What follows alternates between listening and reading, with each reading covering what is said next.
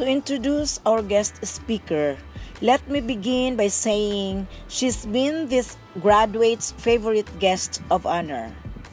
She was just 23 years old when installed into her first political post as mayor of Pikit and succeedingly became the vice mayor.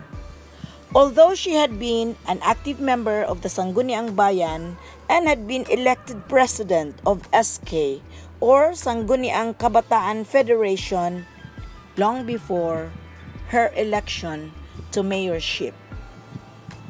She is married to the first councilor of Pigkawayan, North Cotabato, a doting daughter of our incumbent mayor and board member of North Cotabato.